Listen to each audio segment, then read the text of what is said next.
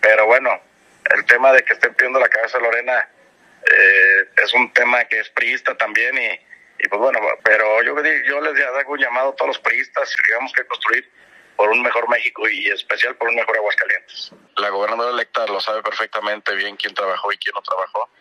Hay que esperar, yo creo que todo el mundo ahorita está en espera de, todos los nombramientos que, que se vienen ya en puerta. Pues bueno, el tema de, de Alito es muy lamentable lo que sucedió a nivel nacional.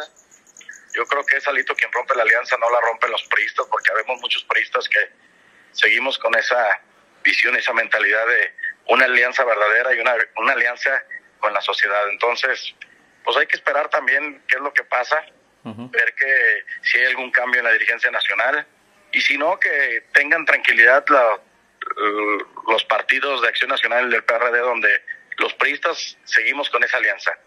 Yo creo que el tema de Alito es un tema personal